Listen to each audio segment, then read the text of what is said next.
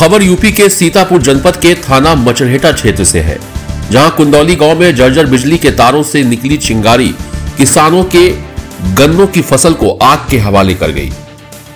बिजली विभाग की लापरवाही कहें या मनमानी, किसानों के खेतों से निकली बिजली की लाइन के तारों को यदि बिजली विभाग समय समय पर मरम्मत करते रहता तो शायद आज दो दर्जन से अधिक किसानों की गन्ने की फ़सल आग में राख न होती।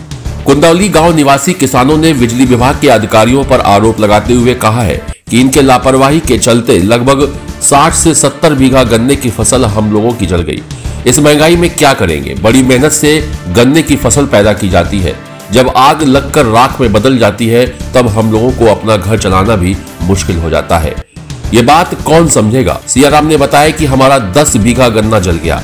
हम तो बर्बाद हो गए। साहब, कौन देगा लागत? ये कहकर सोनेश्री फपक कर रो पड़ा। वही राजेश ने बताया कि आठ बीघा गन्ना इन बिजली विभाग की कर्मचारियों की लापरवाही के चलते जल गया। हम तो बर्बाद हो गए। वही कई किसानों ने अपने अपने बीघों को जलता देख अपनी निराशा व्यक्त की। ये बत्ती से आग लगी है। अच्छा। आप लोगों ने बचाने का प्रयास नहीं किया था? बचाने के प्रयास बहुत किया। मैंने ट्रैक्टर रोटावेटर से चला। मेरा हाथ था पूरा ये अंग जल गया। देखो बाहर तक जल गए तो हम ट्रैक्टर में हिलगे हिलगे बाहर निकला। कोई विभाग से आया दमकल विभाग से आया था यहाँ आग बुझाने के लिए? आए थे यहाँ कोई वो नहीं है खाली गाड़ियाँ खड़ी हैं। बस।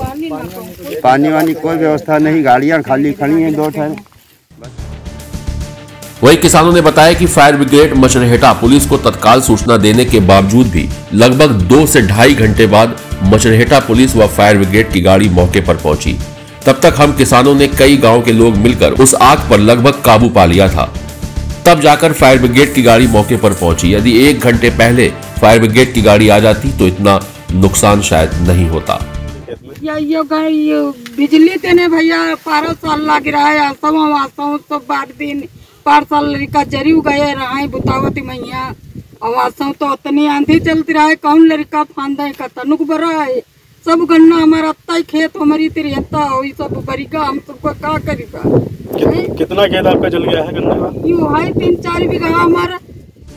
वहीं जब बिजली विभाग के अधिकारी एसडीओ एस के वर्मा से बात की गई तो उन्होंने साफ़ इनकार करते हुए ये कहा कि बिजली विभाग से कोई लेना देना नहीं है।